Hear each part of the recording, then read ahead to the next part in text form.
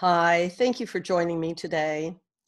We're working through our, the Course in Miracles, the daily lessons, and today we're starting with lesson 281, which is a part of the uh, group of What is the Holy Spirit. I can be hurt by nothing but my thoughts. Father, your Son is perfect. When I think that I am hurt in any way, it is because I have forgotten who I am and that I am as you created me. Your thoughts can only bring me happiness. If ever I am sad or hurt or ill, I have forgotten what you think and put my little meaningless ideas in place of where your thoughts belong and where they are. I can be hurt by nothing but my thoughts. The thoughts I think with you can only bless. The thoughts I think with you alone are true. I will not hurt myself today, for I am far beyond all pain. My Father placed me safe in heaven, watching over me, and I would not attack the Son he loves, for what he loves is also mine to love.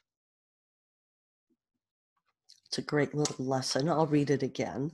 This is 281. I can be hurt by nothing but my thoughts. Father, your Son is perfect. When I think that I am hurt in any way, it is because I have forgotten who I am and what I am as you created me. Your thoughts can only bring me happiness.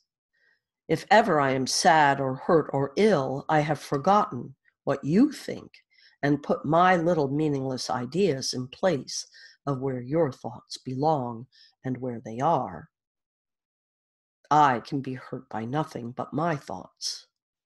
The thoughts I think with you can only bless. The thoughts I think with you alone are true. I will not hurt myself today, for I am far beyond all pain. My Father placed me safe in heaven, watching over me. And would I not attack the Son he loves, for what he loves is also mine to love. It's a great lesson, a wonderful reinforcement of uh, what we've been learning. So if you need additional support, you can feel free to reach out to me, 907 351 3003, or you can message me on Facebook, SoundCloud, YouTube, or my website, lyndalamp.com or lyndalamp.shop. And we'll hope to see you here tomorrow for the next daily lesson. Thanks so much. Much love and namaste.